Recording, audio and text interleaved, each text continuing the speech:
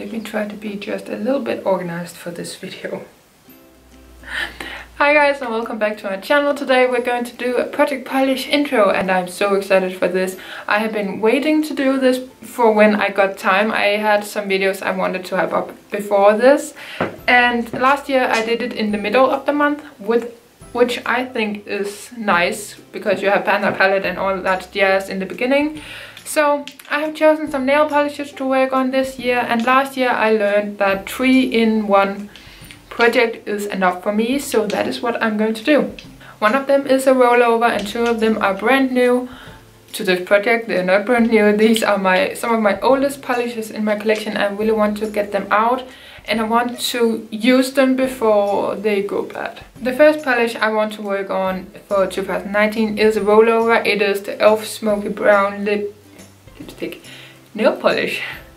It is this one right here. So I have not used it since the last update I did with this and it is the last line, the black one right there. And yeah, I really really enjoy this and I want to get it out before spring. It is so old. I bought this when I still lived at home and I have not lived at home for like five years. Then I have two Depend nail polishes and the first one is a nail polish from the metallic line and it is a silver nail polish. And this is where I am starting at so as you may could see this had some silver markings on it and that is actually this nail polish.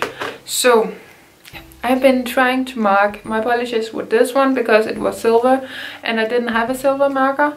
So yeah but this is where I am with this one. These are so tiny no I don't know how small they are but I will write it on the screen if I can find how small they are so the next one is also from Depend as I said and it is just a regular one, a darker red. It is not completely dark but it is a little bit dark. So I'm starting there.